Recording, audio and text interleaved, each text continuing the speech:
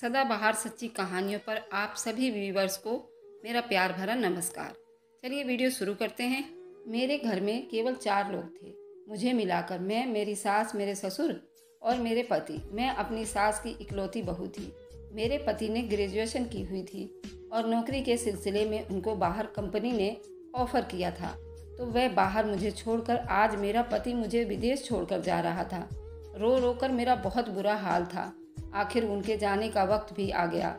मैं दरवाजे पर खड़ी थी, जब वो मुझे हाथ हिलाकर चले गए। मैं अकेले रह गई। मेरी सास ने उसी वक्त मेरे बालों से पकड़ मुझे घसीटा और अंदर कमरे में ले गई। पागल हो गई है क्या? अपने पति के जाने पर ऐसे नहीं रोते? ये मनहूस बातें होती हैं। चुप कर बैठो, वरना पता नहीं मेरे बेटे का रास्ता कैसे गुजरेगा। सास ने मुझे डांट दिया।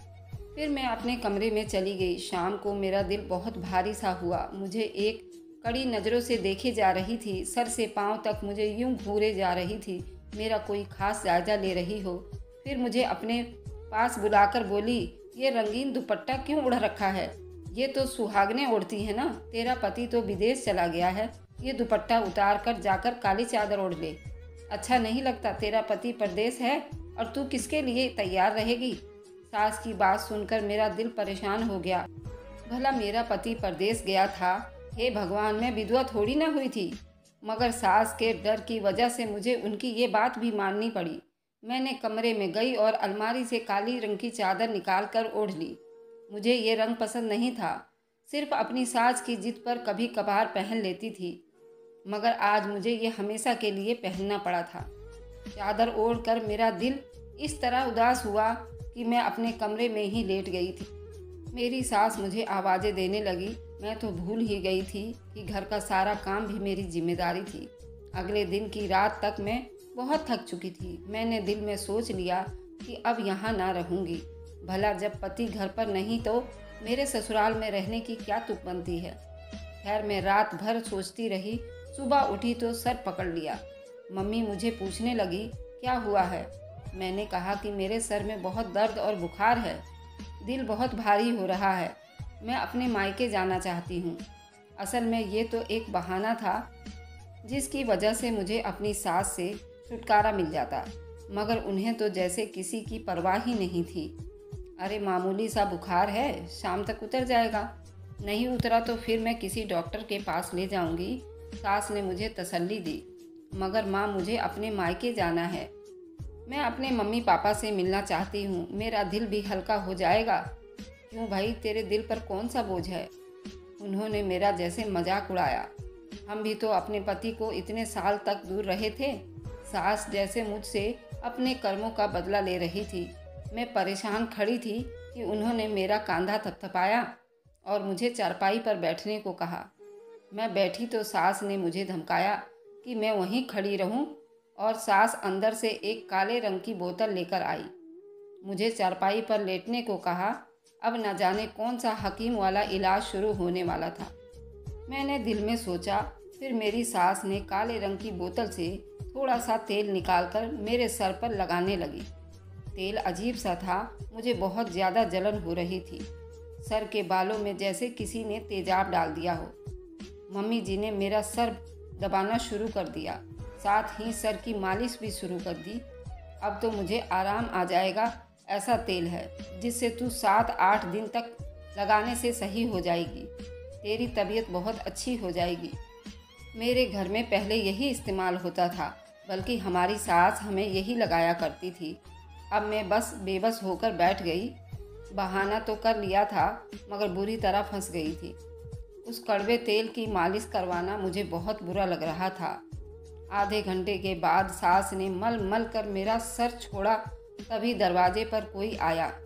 मैंने दरवाज़ा खोला तो हमारे पड़ोस की सामने की एक औरत खड़ी थी। ये मेरी सास से रोज़ाना मिलने आती थी। उसे देखते ही मम्मी खुश हो गई और बोली, आजा रेनू, मैं तेरा ही इंतज़ार कर रही थी। देखो, मेरी बहू के सर में दर्द था, मैंने उसकी मालिश की तो ये सही हो गई। मैं वहाँ से अपने कमरे में चली गई। थोड़ी देर के बाद इन औरतों के लिए चाय बनाकर ले आई। मेरा दिल भारी सा हो रहा था। चाय पीने से और भी हो गया। मैं अपने कमरे में जाकर लेट गई। जल्दी ही मुझे नींद आ गई। रात के आठ बजे मेरी आँख खुली। देखा तो मेरी सास ने खाना बनाकर तैयार कर लिया था। मुझे प्यार से जगाया और कहने लगी, आजा आकर खाना खा ले। मैंने खाना खाया मगर मेरे मुँह का टेस्ट बिल्कुल बिगड़ चुका था। उस मालिश ने तो मेरी तबीयत और भी ख़राब कर दी थी। मैंने खाना खा लिया तो हैरत मुझे तब हुई जब मेरी सास ने मुझे कहा, तू जाकर अपने कमरे में सो जा। जबकि मेरी सास ऐसा कभी नहीं करती थी। वह तो खुद मुझसे अपने पाँव दबवाया करती थी। कभी सुबह के बर्तन धोना होता था, मगर आज मेरी सास का बहुत मेहरबान रवैया देखकर मेरी समझ में नहीं आ रहा था। खैर, मैं अपने कमरे में आकर सो गई। मुझे इस तरह नींद आई जैसे किसी को नशा पिलाया गया हो। सुबह तक मैं सोती रही, मुझे अपना होश भी नहीं रहा। सुबह उठी तो मेरा सर भारी था, मुझसे चला भी नहीं जा रहा था।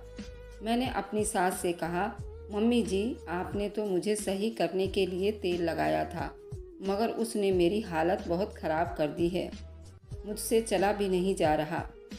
तबीयत और ख़राब हो गई है मेरी बात सुनकर वह थोड़ी हक्का बक्का सी रह गई। कहा, अरे बेटी, सात आठ दिन बाद ही तो ये तेरी असर करेगा।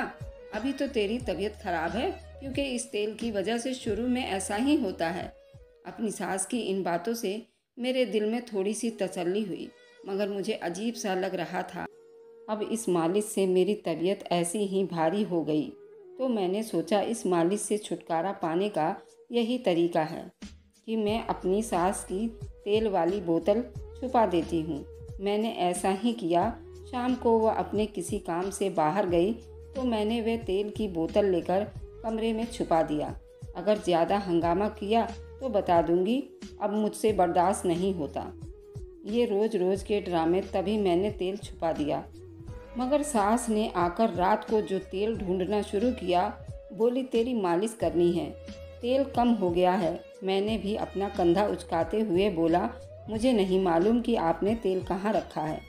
बस मम्मी जी ने इस तरह शोर मचाया कि सारा घर सर पर उठा लिया। उस वक्त मुझे अजीब सा लग रहा था, भला मम्मी जी को मेरे सर की मालिश की इतनी भी क्या ज़रूरत थी? अगर मेरी सास का रवैया भी मेरे साथ पहले से अच्छा होता तो मैं इस बात को मान सकती थी, लेकिन उनका रवैया भी ऐसा था कि उनसे इतनी भलाई का उम्मीद भी नहीं कर सकती थी। जो पहले इरादा किए बैठी थी कि गमलों के पीछे से तेल की बोतल निकाल दूँगी, जब मैंने तेल नहीं लगवाया तो मुझे रात अच्छी नींद आई। इसलिए अब मैंने अपना इरादा बदल दिया। भला ऐसे इलाज की क्या ज़रूरत थी, जिसकी वजह से मेरी तबीयत और ख़राब होने लगी थी? एक रात के लिए उस रात मैंने अपने कमरे में गई तो सास ने मेरे कमरे का दरवाज़ा बाहर से बंद कर दिया, बल्कि उसमें ताला लगा दिया। मुझे हैरत हुई, आज मुझे नींद नहीं आ रही थी। थोड़ी देर बीते कि मुझे बाहर से कुछ लोगों की आवाज़ें आने लगी। ये आवाज़ें जैसे किसी की बातें करने की थी। मैंने अपने कमरे का पंखा बंद किया और उन आवाज़ों को ध्यान से सुनने लगी। कुछ खींचने की आवाज़ें भी आ रही थी, जबकि दो चार आदमी एक साथ बातें करने की आवाज़ भी आ रही थी। मेरी सास ने न जाने उनको क्या कह रही थी। पूरे घर में अंधेरा था। मैंने भी अपने कमरे की बत्ती बुझा रखी थी। मैंने देखा उसको दो आदमी हल्की रोशनी में हमारे आँगन से बाहर वाले दरवाजे से जा रहे थे। पहले मैंने सोचा कि ज़रूर मेरी सास का कोई रिश्तेदार होगा। लेकिन रिश्तेदार होता तो यूँ चोरी छुप के आकर मिलने की क्या ज़रूरत थी? सामने भी मिल सकता था, यानी दिन के वक्त, मगर ये रात को ही क्यों आए? अब तो मेरा शक और भी पक्का हो गया। सुबह उठी तो मैं बिल्कुल अपने आप को ताज़ा महसूस कर रही थी। मेरी तबीयत भी ठीक थी। मेरी सास ने मुझे देखा तो बोली, रात तू सो गई थी? मीनाक्षी हाँ मम्मी जी, मैं सो गई थी। लेकिन बहू, मैं जानती हूँ कि तेरी तबीयत खराब रहेगी। मैं आज ही तुझे रानू की माँ के पास ले चलूँगी। तुम तो जानती हो वो कितनी माहिर है।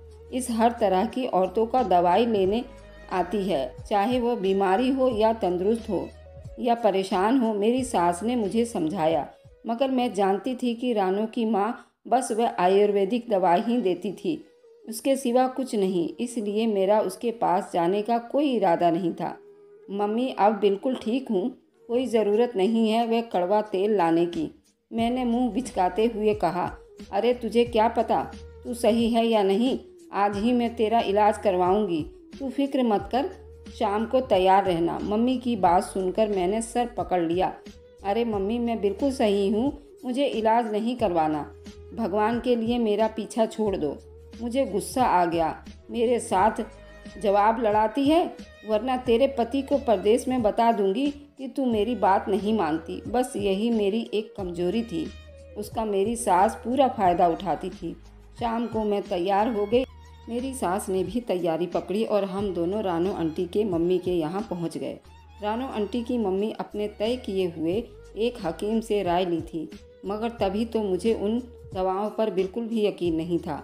मम्मी ने उसके सामने मेरी समस्या बताई और कहने लगी, वह मुझे तेल दे दो जो तुमने पिछली दफ़ा दिया था। मम्मी की बात सुनकर उसने कुछ देर तो सोचा और फिर एक लड़की को आवाज़ दी, जो उसी तरह की काली तेल लेकर मम्मी के पास आ गई।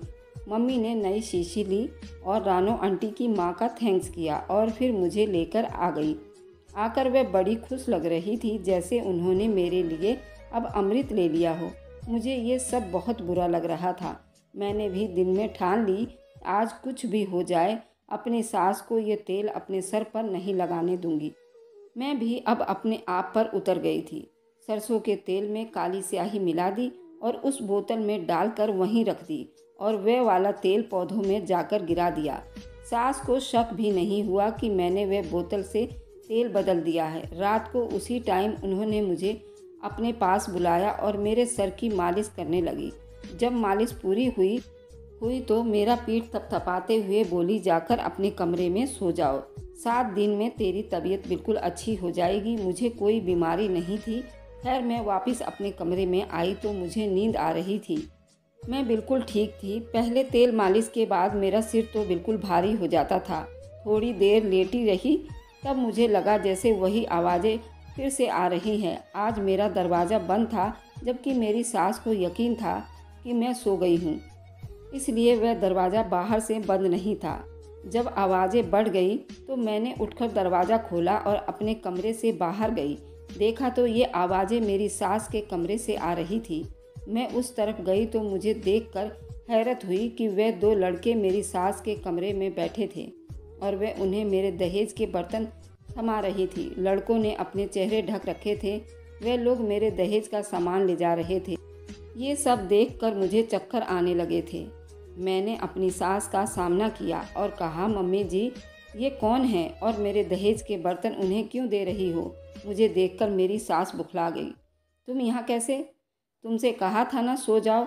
उन्होंने उल्टा अपनी गलती छुपाते हुए कहा, मम्मी, मैं सो नहीं सकती। मैंने जो पूछा है उसका जवाब दीजिए।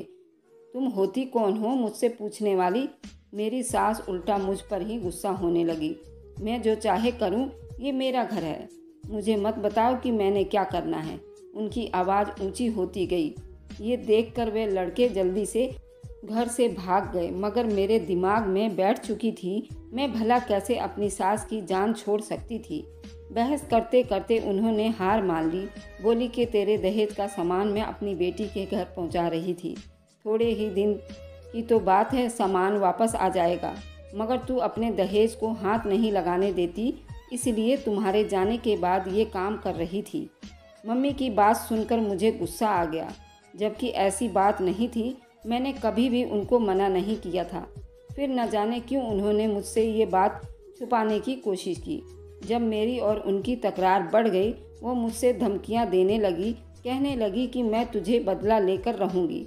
तूने मेरे बेटे का घर बर्बाद कर दिया है।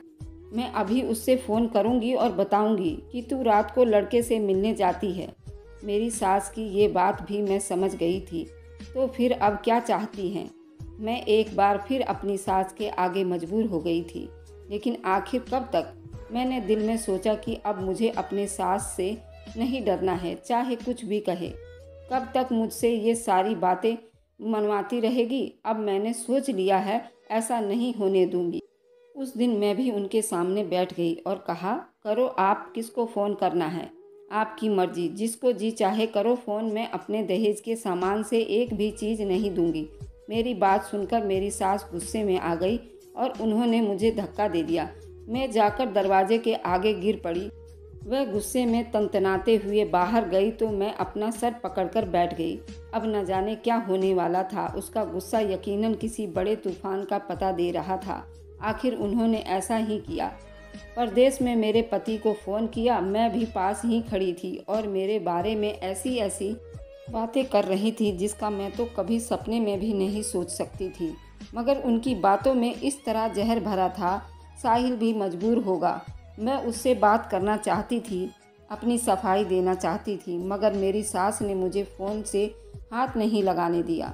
मेरा दिल चाह रहा था उस बुढ़िया की हड्डियाँ सही कर दूँ, मगर उस वक्त मैं कुछ नहीं कर सकती थी। साहिल ने जब मुझे कह दिया कि तुम मम्मी के मामले में मत बोलो, मैं तुमसे कल सही से बात करूँगा। मेरा दिल मचल कर रह गया। साहिल बहुत गुस्से में था। उनकी मम्मी ने जो बातें कही थी, सुनने के बाद कोई भी पति अपनी पत्नी को अपने घर में बर्दाश्त नहीं कर सकता था। फिर मेरे लिए तो उस बात का सोचना भी मुमकिन नहीं था। अगले दिन उन्होंने मुझसे फ़ोन पर बात की। मैं समझी कि शायद वह मुझसे फ़ोन पर हमदर्दी करेंगे, मगर उन्होंने रात भर मुझसे लड़ते रहे। अपनी माँ की बातों पर आखिरकार मेरी डिवोर्स तक फैसला हो गया। उन्होंने कहा, गैर मौजूदगी में मैंने उनके साथ बेवफाई की है। इस बात ने मुझे आंसुओं में भिगो दिया। सोच सोच कर मैं पागल हो गई थी। मेरा पति मुझसे ऐसा रवैया क्यों रखने लगा? मुझे वह छोड़ने तक की बातें कर रहा था और बोल रहा था कि मेरे घर में तुम्हारी कोई जगह नहीं है। हमेशा हमेशा के लिए निकाल दिया। मैं रोती बिलखती रही, अपने माँ बाप के घर आ गई। मेरा कसूर तो कुछ नहीं था, मगर माँ बाप परेशान हो गए। मैंने भी उनकी परेशानी में अपनी परवाह करने के बजाय उनका साथ दिया। उन्होंने जिस भी मेरी दोबारा शादी करवाई, मैंने वहाँ कर ली। माँ बाप की रजामंदी का फल मुझे ये मिला कि मेरी शादी एक इंसान से हो गई। उसे कमाने के लिए विदेश नहीं जाना पड़ा। मैं उसी में खुश हूँ। उन्होंने मुझे तीर्थ यात्रा भी करवा दिया है। मुझे लगता है कि मेरी ज़िंदगी में अब बड़े मज़े से गुजर रही है। मैं अब इस तरह सुकून से जी रही थी। एक दिन मुझे अपने मोहल्ले में दावत में जाना पड़ा। मेरी बातों बातों में उसने मेरी पिछली सास का ज़िक्र किया। मैंने पूछा, वो कैसी हैं? उनकी हालत पर अफसोस करने लगी। बोली, ये बहुत बुरे हाल में हैं। मैंने कहा, क्यों कहने लगी? उनकी शायद तुम पर जुल्म करने की आदत हो गई थी। अब वह अपनी दूसरी बहू लाई तो वह खुश थी। वह बहुत अमीर घराने की लड़की थी। ढेर सारा सामान भी साथ लाई थी। उसने आते ही उस औरत को सीधा कर दिया। उसकी एक एक बात ना मानी और ऐसी ऐसी बातें अपने पति के सामने करती बुढ़िया कुछ ना कर सकती थी और वह औरत बहुत खूबसूरत थी और अमीर भी, इसलिए उसका कुछ रोग उसका ऐसे भी था। तुम्हारे साथ तो तुम्हारी आदि हो गई थी। उसने उसके साथ भी वैसे ही करने की कोशिश की तो ना कर सकी। रात अंधेरे में उसे रंगे हाथों पकड़वा लिया और दरअसल तुम्हारी सास की समस्या उसे शुरू से ही चोरियाँ करने की आदत थी। न जाने उसे आदत क्यों है, हालाँकि घर में भगवान ने किसी चीज़ की कोई कमी नहीं दी। उस औरत का पसंदीदा काम चोरी करना था और झूठ बोलना। अपने बड़े बेटे की पत्नी का भी उसने बुरा हाल किया था। लेकिन उसका बड़ा बेटा अपनी पत्नी के गम में मर गया था। अब तो हाल ये था कि ताला बंद करके तो वह उसे खाना देती थी, वरना सारा सारा दिन भूखी रहती। उसकी यही सज़ा होनी चाहिए। मैं जानती थी कि उसने तुम्हारे साथ बहुत बुरा किया है। उसने अपनी पहली बहू के साथ भी ऐसा ही किया था। मैं अपनी सास का हाल सुनकर खुश तो नहीं हुई, क्योंकि किसी को तकलीफ़ में देखकर खुश होना मेरी जात में नहीं था। मगर सच तो ये है कि इंसान को अपने बुरे कर्मों की सज़ा मिलती रहती है। तो कैसी लगी दोस्तों मेरी ये कहानी? तो मुझे कमेंट में ज़रूर बताइएगा। जब तक के लिए bye bye. Thanks for watching like and subscribe